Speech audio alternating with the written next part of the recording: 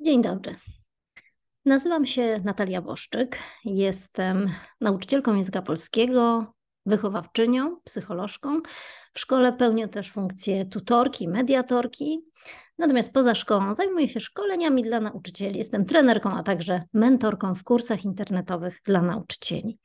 Jestem także autorką dwóch książek: Dobre relacje w szkole i Kryzysowy niezbędnik nauczyciela. Dzisiaj na podstawie moich doświadczeń, również na podstawie moich obydwu książek, chciałabym opowiedzieć o dziesięciu przeszkodach, które uniemożliwiają budowanie tros troskliwej wspólnoty klasowej. Będzie o przeszkodach, no ale cały wykład i cały webinar nie miałby sensu, gdybyśmy nie mówili od razu o rozwiązaniach, proponowanych przeze mnie e, rozwiązaniach. E, kieruję te rozwiązania zarówno do wychowawców, jak i do każdego nauczyciela i nauczycielki. Myślę, że nawet nauczyciel przedmiotu może skorzystać z poniższych wskazówek i wdrożyć je na swoich e, zajęciach. Skoro mamy mówić o budowaniu troskliwej wspólnoty klasowej i mamy mówić o w ogóle wspólnocie, o grupie, to jak się Państwo domyślacie, będzie sporo o relacjach i o współpracy właśnie. I zacznę od takiego hasła, które dzisiaj jest bardzo, bardzo popularne. Edukacja to relacja. E, mam wrażenie, jak słyszę, jak często to hasło się pojawia mm, w różnych wystąpieniach, publikacjach, właśnie, to mam wrażenie, że jest już ono nieco, mówiąc potocznie, wyświechtane, a jednocześnie cały czas wydaje mi się, że nie do końca wiemy, czym to hasło wypełnić, w jaki sposób na co dzień realizować postulat e, relacyjności w szkole, w edukacji. E, a że warto, mm, dowodzą tego badania, ale także doświadczenia wielu, wielu nauczycieli. Neurobiolodzy mówią o tym, że dzięki relacjom możemy jeszcze silniej wspierać e, naszych uczniów e, w uczeniu się.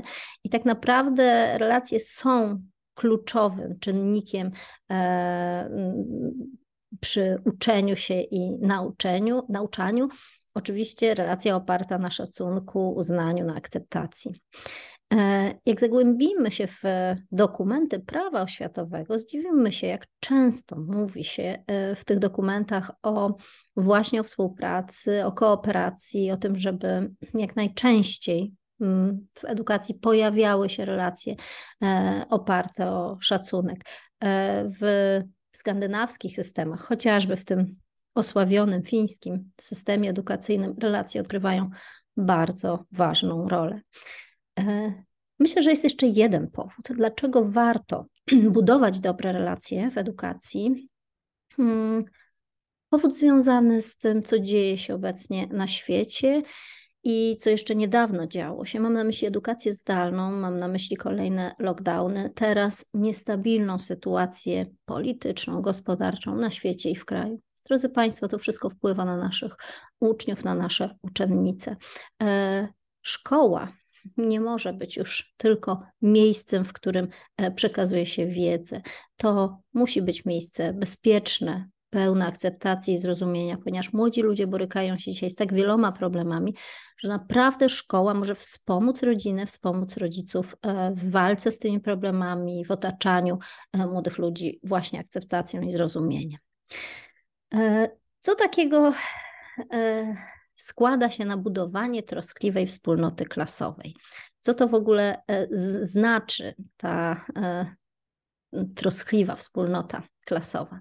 No wydaje się, że, że, że to po prostu oznacza, że klasa jest zintegrowana. Hasło integracja jest bardzo modne również. I kiedy na szkoleniach, które prowadzę, pytam nauczycieli, nauczycielki, jak myślicie, jak możemy zapewnić, że klasa, no właśnie, w klasie będą e, panowały dobre, wspierające relacje, to bardzo często słyszę odpowiedź, e, Trzeba zrobić jakieś zabawy integracyjne, trzeba zorganizować e, jakąś grę, trzeba przeprowadzić jakiś scenariusz na godzinie wychowawczej.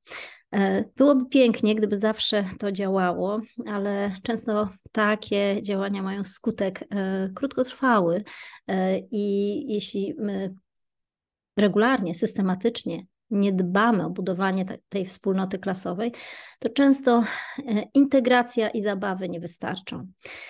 Ale jest jeszcze jeden bardzo ważny aspekt, który wpływa na budowanie takiej troskliwej wspólnoty. Mm, okazuje się, że tym aspektem są działania nie dzieci, nie ich integrowanie, nie, nie to, co dzieje się między nimi, e, a najważniejsze jest to, co wychodzi od dorosłego.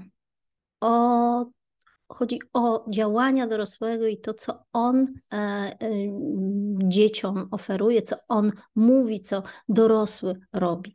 Nie z, zdajemy sobie często sprawę z tego, jak ważne jest pojęcie modelowania. Modelowania, czyli mm, zachowywania się w określony sposób i mówienia w określony sposób, po to, e, by dzieci mogły dany sposób, dane spojrzenie, daną postawę przejąć. Bo dzieci są bacznymi obserwatorami, o czym będę jeszcze dzisiaj bardzo często mówić. Dzieci e, bardzo często nieświadomie obserwują dorosłych i bardzo często nie kopiują zachowań jeden do jeden, ale wiele przejmują. I naprawdę, gdybym miała powiedzieć, co, od czego tak naprawdę zależy, jaką wspólnotę klasową budujemy, to powiedziałabym, że zależy od tego, co my robimy, co mówimy i jak my się zachowujemy.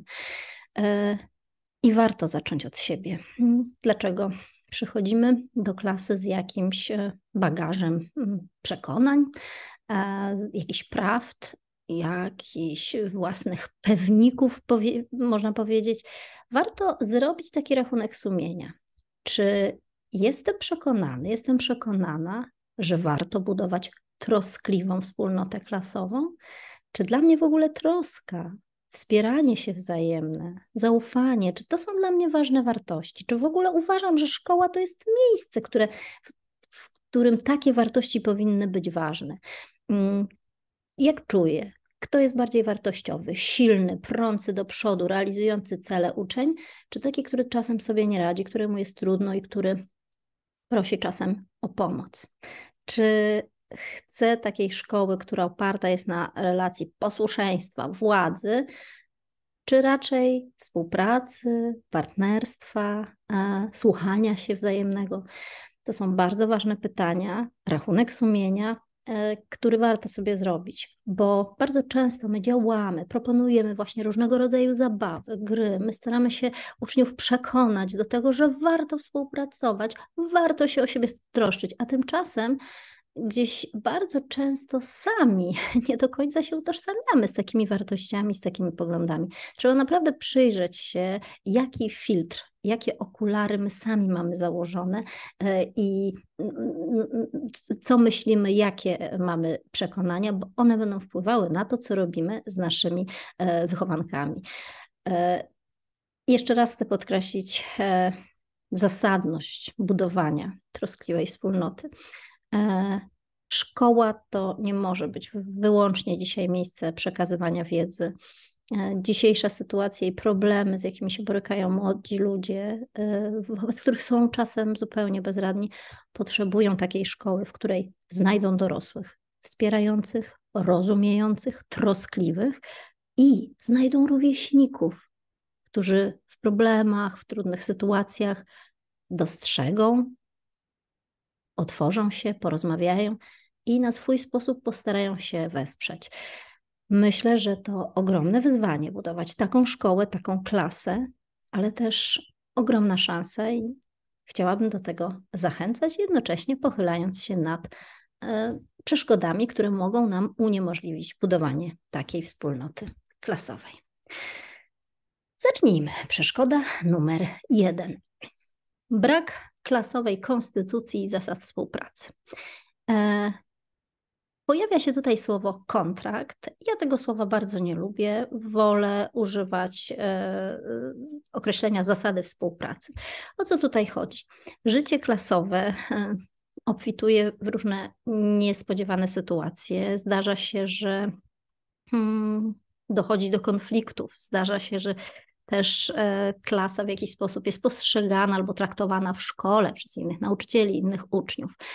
E, poza tym mamy tak zwane mięso nauczycielskiego życia, czyli praca e, wychowawcza i praca pedagogiczna oraz dydaktyka, nauczanie, żeby nasi uczniowie, nasza grupa, nasza klasa um, efektywnie pracowała i współpracowała, dzieci muszą znać zasady współpracy i oczywiście muszą to być takie zasady, które tworzymy razem z nimi.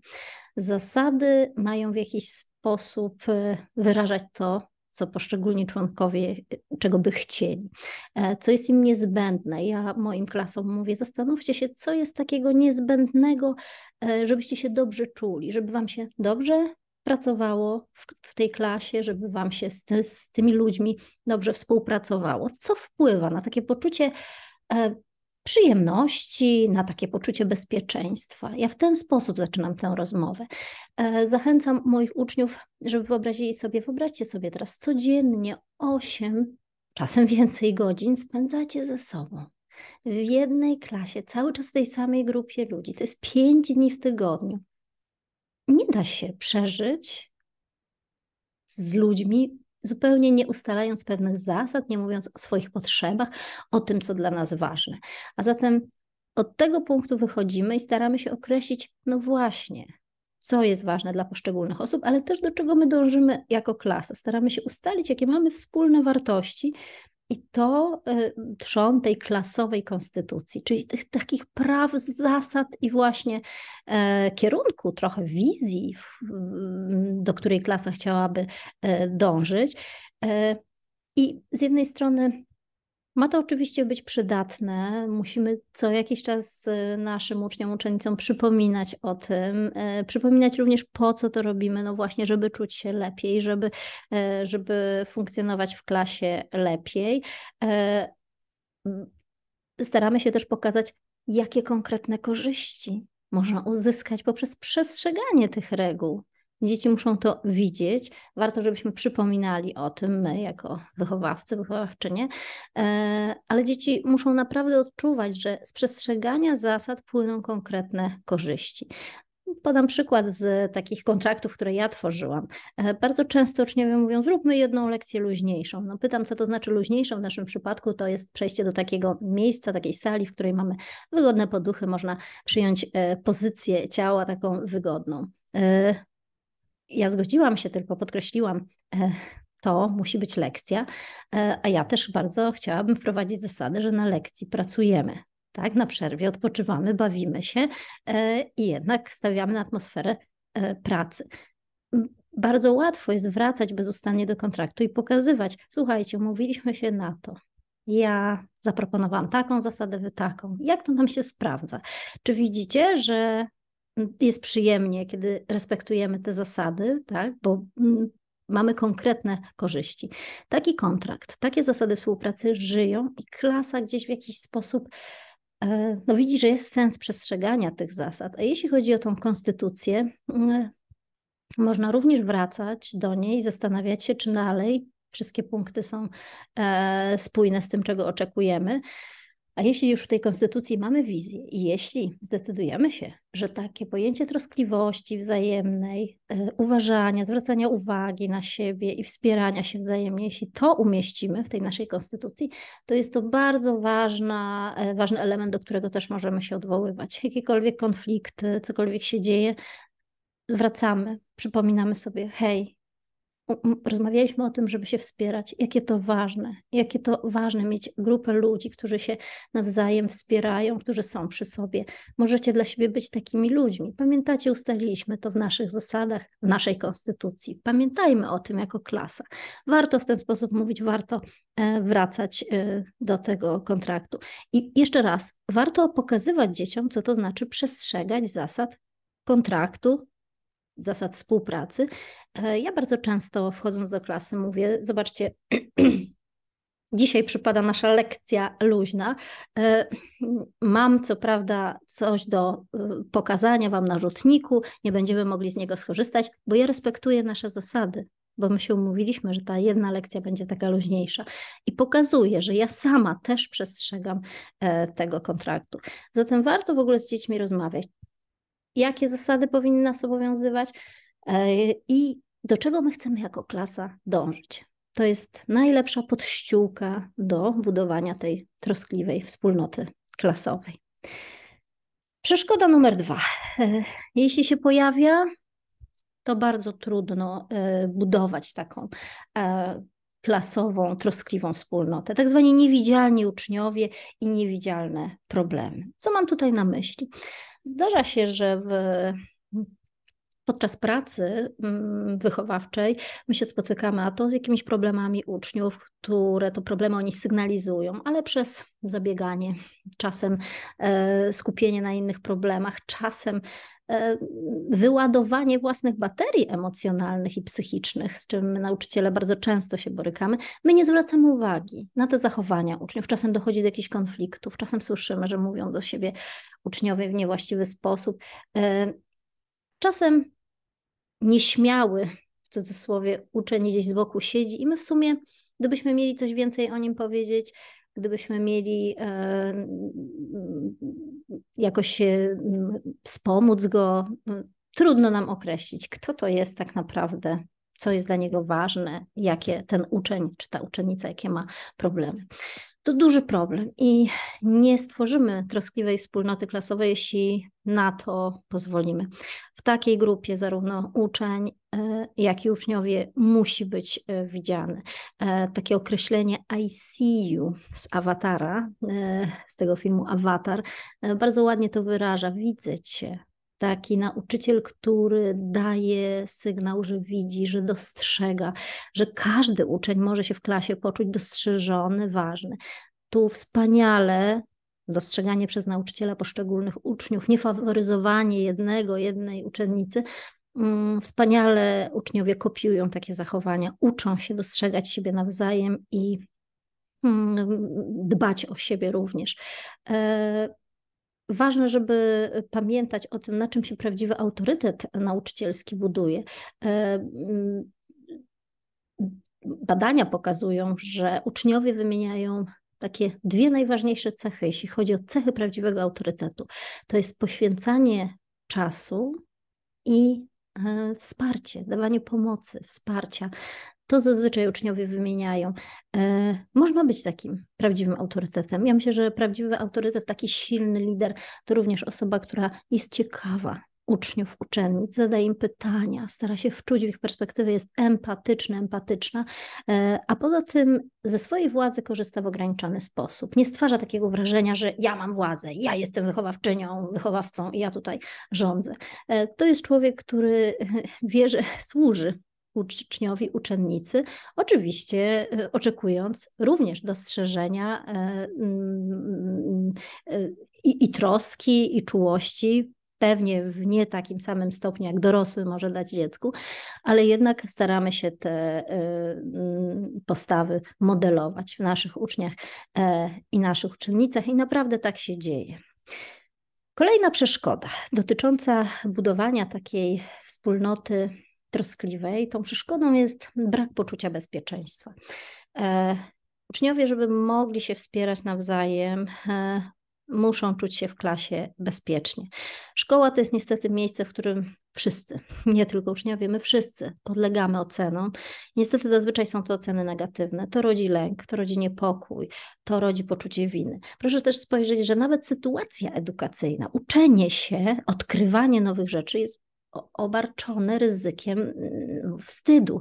E, żeby się nauczyć, ja muszę spróbować, nie umiejąc jeszcze. Ja próbuję i mogę polepszać swoje umiejętności, ale często na początku nie umiem i wystawiam się na krytykę, na negatywne oceny, czasem na śmiech. Stąd poczucie wstydu. Badania mówią, że 85% dorosłych odczuwało w szkole co najmniej raz wstyd. Brené Brown, e, amerykańska badaczka, psycholożka, używa takiego określenia, e, że uczniowie w klasie są jak takie bezbronne żółwie bez skorupy. To piękna metafora, która może wyrażać nam, jak e, uczeń czuje się i nawet ten uczeń, który przybiera taką postawę mocy, siły, opancerza się, powiedzielibyśmy, on także mm, jest wystawiony na wstyd, ryzykuje bardzo często i odczuwa ten lęk i niepokój. Takie emocje należy dostrzegać. Nie należy przymykać oka na to, że ktoś się zawstydził, że ktoś czuję się niepewnie, niepersonalnie, nie wskazywać, o Zosiu, właśnie się zawstydziłaś. Tu chodzi o, o dawanie przyzwolenia na takie odczucia, bo to rodzi znowu bezpieczeństwo. Aha, czyli ja mogę się mylić, czyli to jest ok, że nie wiedziałem to jest w porządku, że ja się jeszcze uczę, że jeszcze nie jestem idealny, idealna.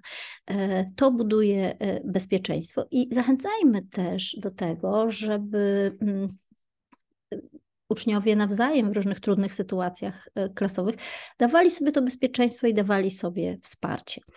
Praktyka czy rzeczywistość, może nie praktyka, a rzeczywistość jest niestety bardzo często trudna. Kiedy zapytałam e, jedną ze znajomych wychowawczyń w jaki, co ona uważa, że jest największym problemem w budowaniu takiej zgranej wspólnoty. Ona powiedziała o języku, e, wspomniała, że sposób, w jaki uczniowie się do siebie odnoszą, bardzo często nieświadomie, jest e, brutalny, jest agresywny, jest pełen takiego nie, nawet nieintencjonalnej złości, agresji. Warto zwracać uwagę na to, jak uczniowie się do siebie zwracają.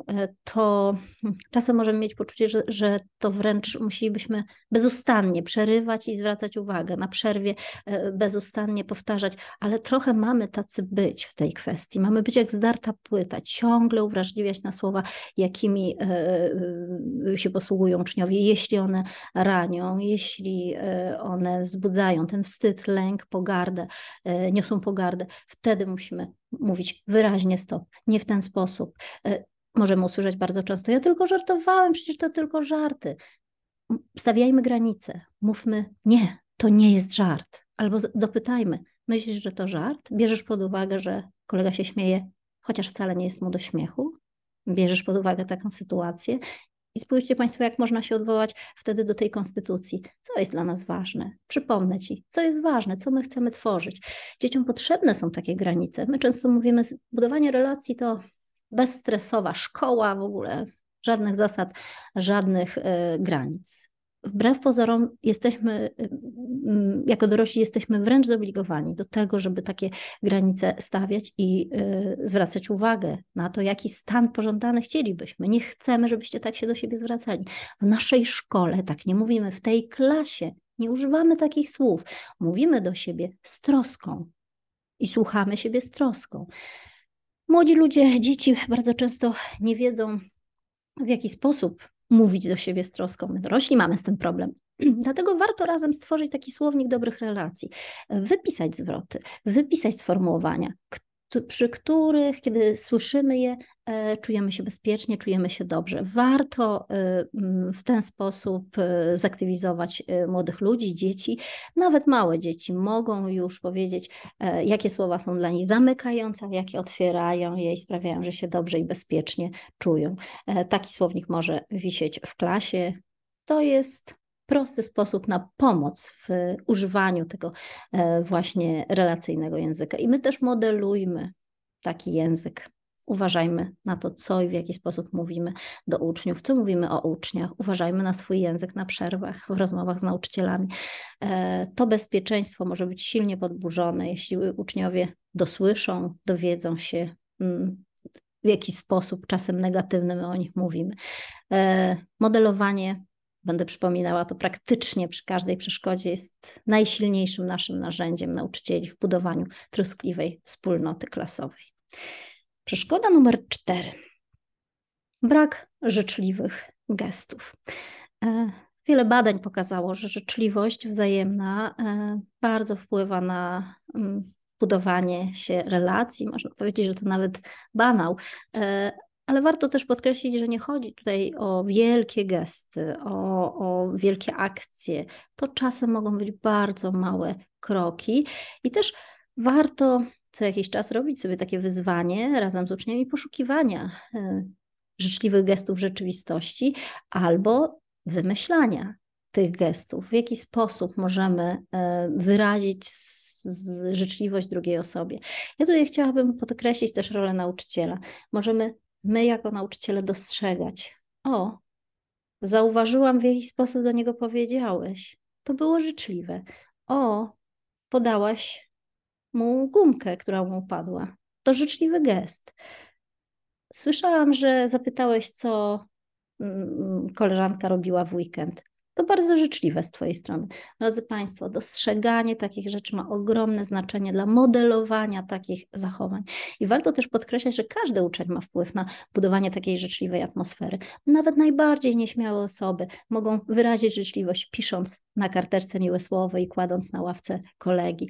E, ja z moimi uczniami bardzo często robimy sobie wyzwania życzliwości. Tworzymy takie kalendarze, planery albo śledziki, czyli zaznaczamy, e, jakie gesty życzliwości udało udało nam się danego dnia i kolejnego e, wykonać. To dobra zabawa, a zarazem budowanie takiej mm, życzliwej sobie e, wspólnoty. Sama zdarza mi się upiec ciasto na godzinę wychowawczą, zdarza mi się obdarować moich uczniów cukierkiem, czasem jabłkiem. E, po prostu wiem, że takie małe gesty są nie do przecenienia, to właśnie te gesty się później najbardziej wspomina, ale przede wszystkim przenosi się je do własnego życia. Chyba kształtowanie takich życiowych, e, pozytywnych postaw nam e, wszystkim wychowawcom chodzi. Przeszkoda numer pięć. Rywalizacja.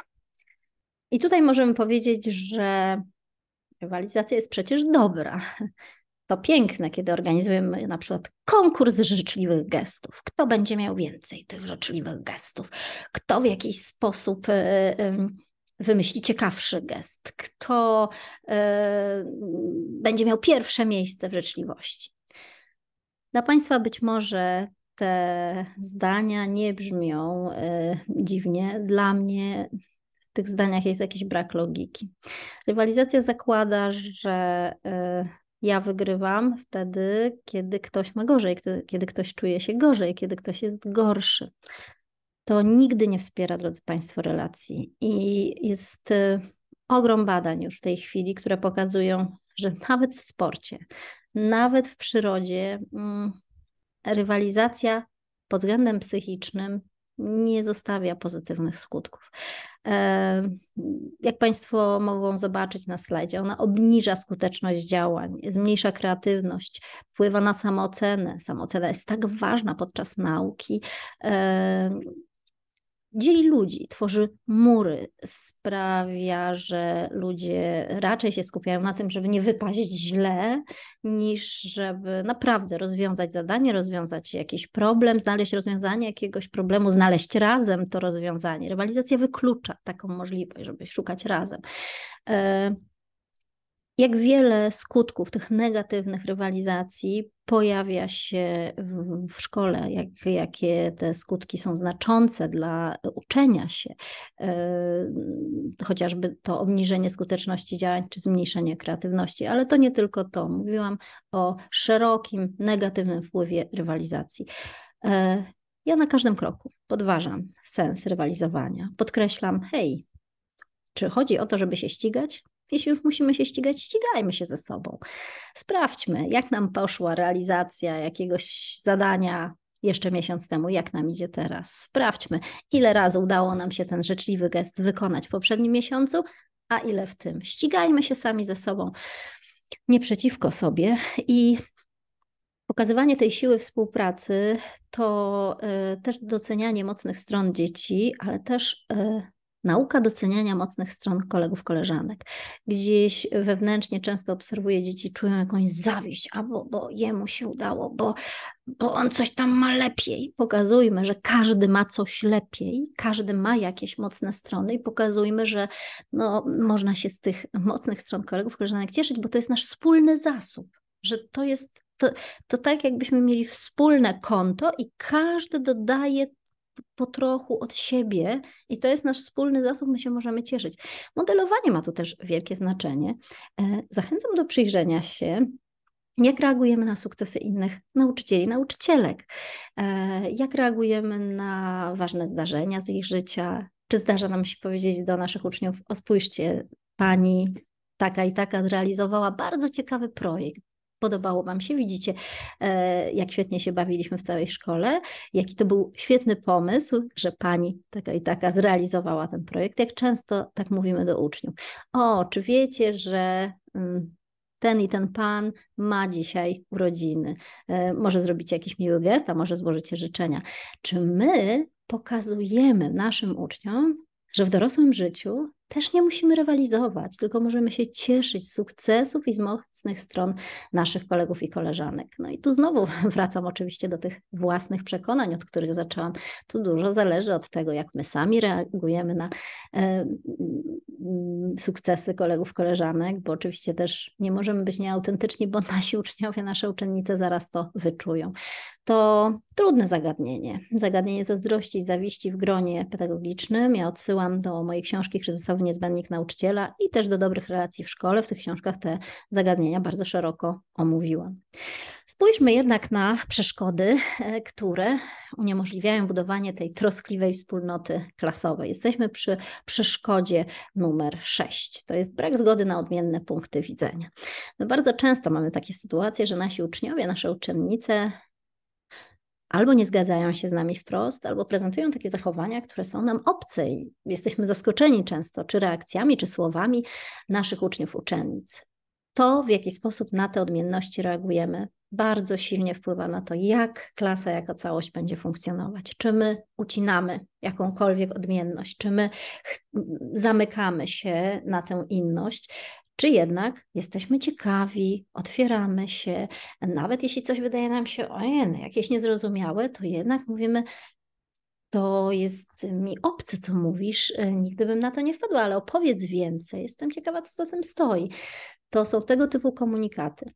Hasło inność jest ok, to dzisiaj bardzo szumne hasło, natomiast różnie wygląda znowu z jego e, wdrażaniem i z praktyką.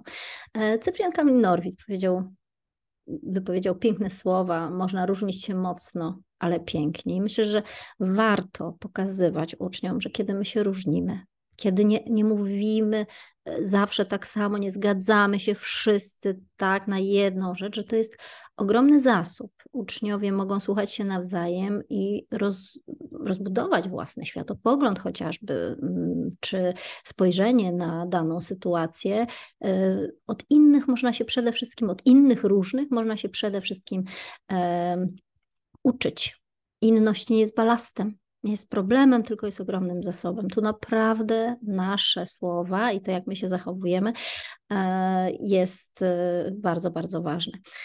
E, bardzo często inność wyraża się w konfliktach. Różnice w mm, potrzebach, jakieś inne spojrzenia na daną sprawę doprowadzają do konfliktów. I bardzo często my, jako wychowawcy, wychowawczynie, nie mamy zasobów albo siły, albo mm, umiejętności, żeby przyjrzeć się takim konfliktom, to znaczy dostrzec je, zauważyć, czasem zatrzymać lekcję. E, używam tu określenia na slajdzie hotspoty. Hotspot, czuły, gorący raczej punkt, e, czyli właśnie taki moment jakiegoś konfliktu, jakiej, jakiej, jakiejś tarcia e, poglądów Najczęściej, kiedy pytam uczniów, uczennice jako wychowawczyni, jako nauczycielka, ale też jako tutorka i psycholożka, co najbardziej ich boli, to właśnie to, że nauczyciele przymykają oko, słyszą nawet, że dochodzi do konfliktu, ale nie ingerują w niego. Czego my uczymy naszych uczniów, co my modelujemy, kiedy my robimy stop klatkę i mówimy halo, chwileczkę, przerwiemy na chwilkę. Chcę usłyszeć, bo doszło do jakiegoś konfliktu, doszło do jakiegoś poróżnienia. Chciałabym usłyszeć, bo widzę, że Wam trudno, co się dzieje. Możecie powiedzieć, co się dzieje, w jaki sposób mogłabym Wam pomóc. Kiedy tak reagujemy, kiedy robimy takie e, stop klatki, kiedy my chcemy wysłuchać różne racje, różne potrzeby, chcemy zainwestować w to czas, a uwaga, słowo inwestycja oznacza, że z inwestycji będzie zwrot. To jest pewne. Kiedy inwestujemy ten czas, my pokazujemy uczniom, że e, takie sytuacje są naturalne i że warto się zatrzymywać i pomóc ludziom się spotkać, wysłuchać, że to jest wartościowe i warto to robić. W, we wspólnocie klasowej opartej na troskliwości, my nie możemy działać inaczej. Jeśli chcemy zintegrować naprawdę klasę i stworzyć taką pełną zaufania, akceptacji wspólnotę, musimy zauważać konflikty i też znać swoją rolę. Nasza rola jako nauczycielki, nauczyciela nie polega na rozwiązaniu konfliktu. To nie jest nasz konflikt, to nie my mamy rozwiązać problem. My mamy towarzyszyć dzieciom, młodym ludziom w rozwiązaniu tego e, konfliktu. My mamy towarzyszyć w konflikcie, a nie rozwiązywać e, za nich tych poróżnień. Mm, oczywiście można powiedzieć, że tak byłoby łatwiej, szybciej wejść, powiedzieć ty do kąta, ty do kąta, a później podacie sobie ręce i koniec. Nie na tym polega budowanie wspierającego się zespołu klasowego. Kolejną przeszkodą to jest taka przeszkoda zapominania o sile e, współpracy. E, my mówimy dużo o niej, znowu szumne hasło kolejne, ale nie pamiętamy zazwyczaj o tym, żeby na co dzień pokazywać siłę, żeby pokazywać e, takie sytuacje, formułować takie zadania również na lekcji, w których jak działamy razem, to efekt jest lepszy niż kiedy działalibyśmy w pojedynkę. Warto pomyśleć o takich właśnie sytuacjach i takich działaniach, które to e, pokazują. Warto również e, pamiętać, bo to częste utyskiwanie nauczycieli, nie pracuje w grupie, a praca w grupie taka przesada, robi się imprezka, robi się kawiarnia, a nie nauka i absolutnie nie korzystam z tej metody. Uczniowie Zresztą ludzie nie rodzą się z umiejętnością kooperacji, współpracy, komunikacji pozytywnej. To, jest, y, to są wszystko umiejętności, które trzeba ćwiczyć. Mm, ja przygotowuję osobne zasady współpracy do właśnie pracy w grupie, w jaki sposób ta grupa ma pracować, żeby były efekty, żeby były wyniki tej pracy. Y, I naprawdę nie jedno zastosowanie metody sprawia, że ludzie, młodzi ludzie zwłaszcza, idealnie ze sobą współpracują. Tego również trzeba uczniów i uczennice uczyć. E, istnieje takie przekonanie również, jeśli chodzi o współpracę i brak, mhm, że radzić sobie w czymkolwiek, to radzić sobie samemu. Jakbyśmy mieli określić, co to za osoba, która, o której możemy powiedzieć, o, on sobie świetnie radzi. Czy to będzie osoba, która e, prosi o pomoc innych, szuka wsparcia, działa razem, korzysta z siły grupy, czy właśnie ten, który sam z zaciśniętymi zębami prze e, i realizuje swoje cele.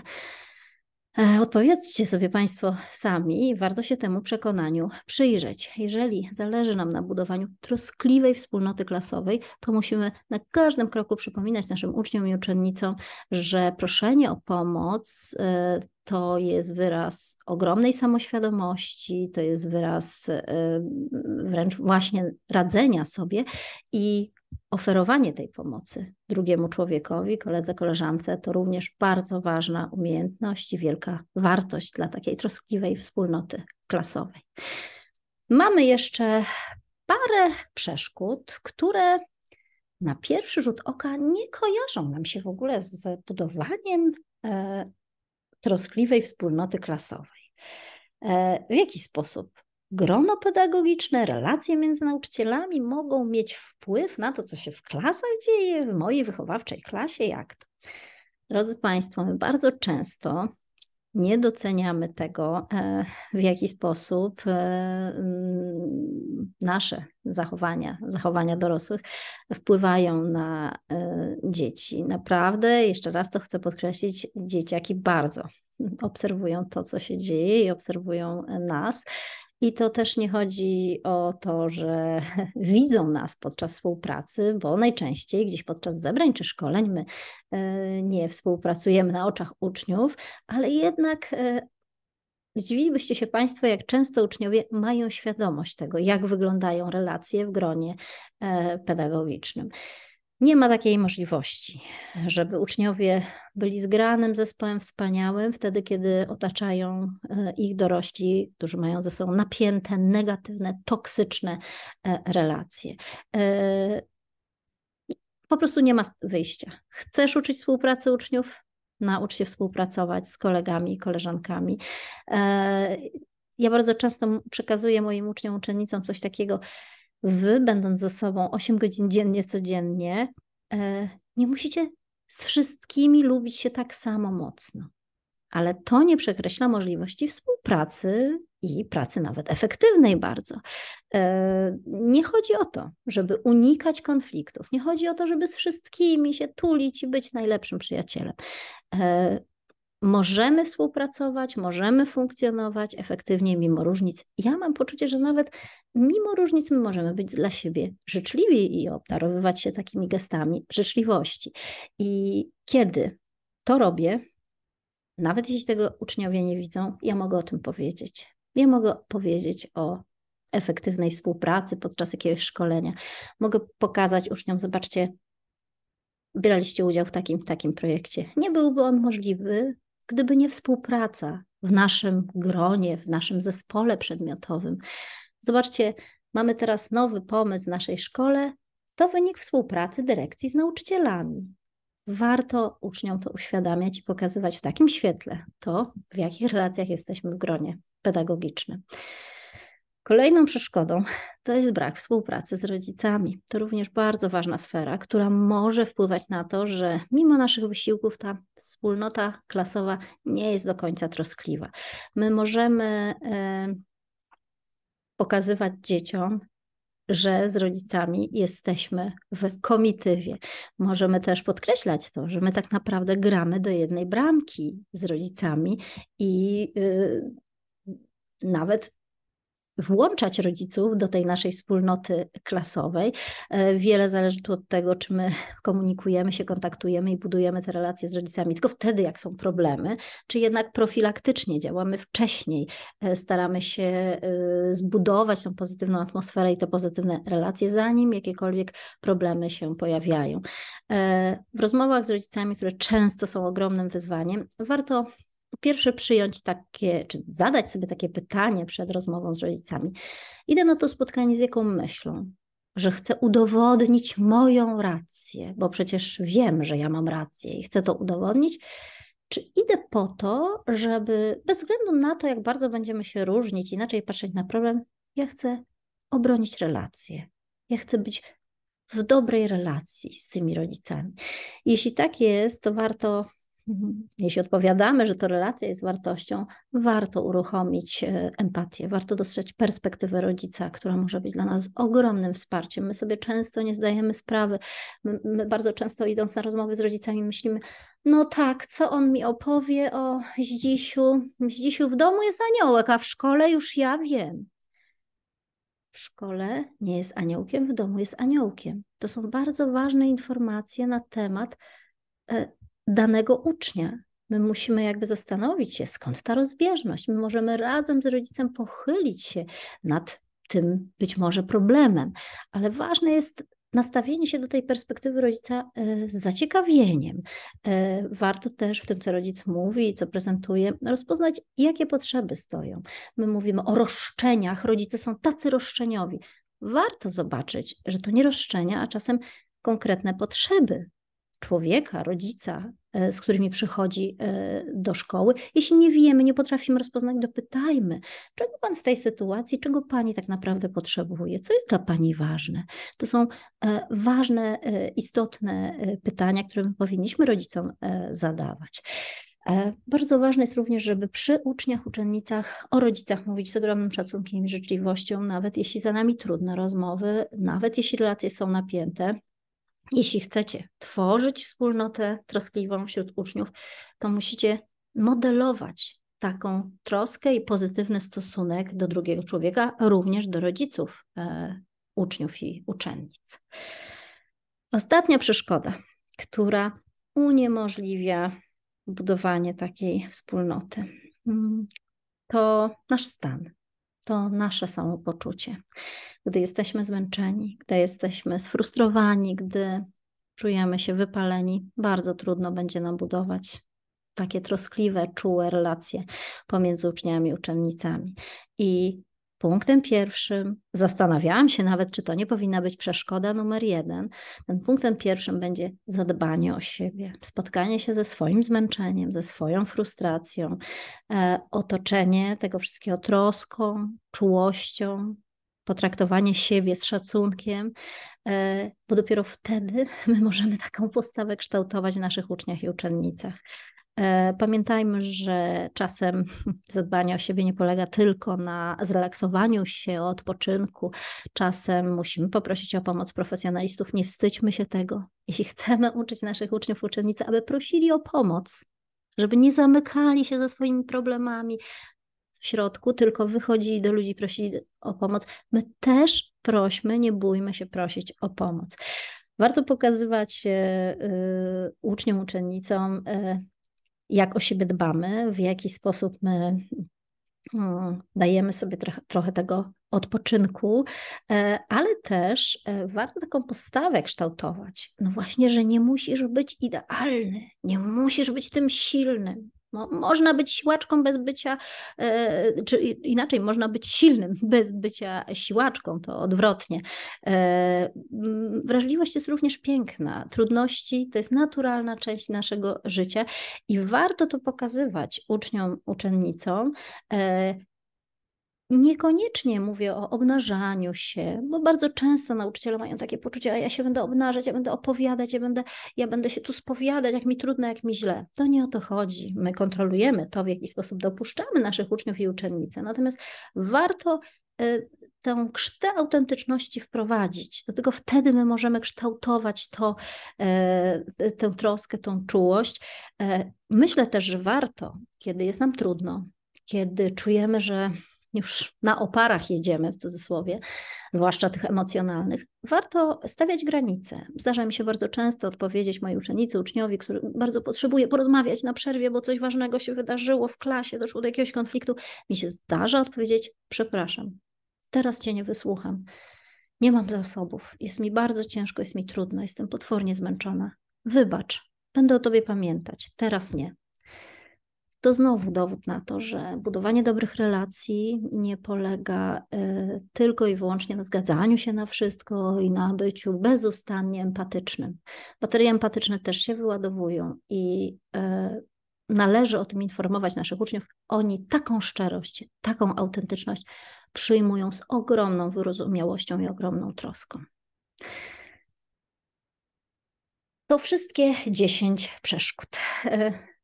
Na koniec chcę jeszcze zastanowić się, dlaczego warto.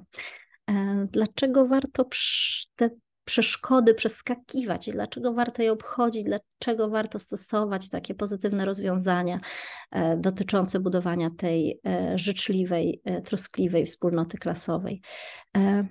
90% dorosłych zadowolonych ze szkoły mówi, że taką najważniejszą przyczyną tego zadowolenia było to, że znaleźli w szkole jedną osobę, jednego dorosłego, który był troskliwy, który był e, wyrozumiały, który ich wspierał.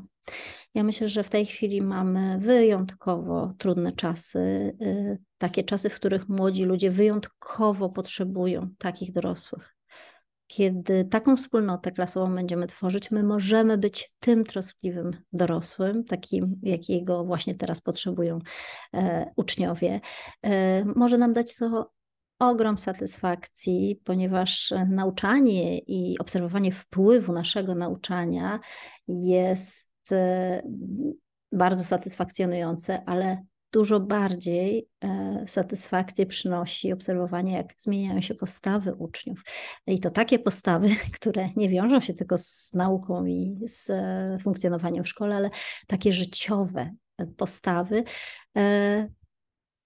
Ostatni, ostatnia korzyść, ważna, mniej ważna, trudno mm, powiedzieć, ale budowanie takiej wspólnoty naprawdę wpływa na to, jak uczniowie się uczą. Oni są bardziej zaangażowani, oni są bardziej kreatywni i pracują naprawdę e, bardziej efektywnie. To choćby dlatego warto. Dziękuję serdecznie za uwagę, za poświęcony czas.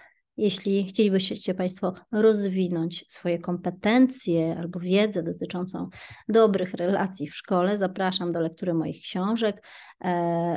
E, książka Kryzysowy Niezbędnik Nauczyciela to przede wszystkim takie wsparcie dla nauczycieli i nauczycielek. Ja bym powiedziała, że to taki balsam na duszę e, nauczyciela.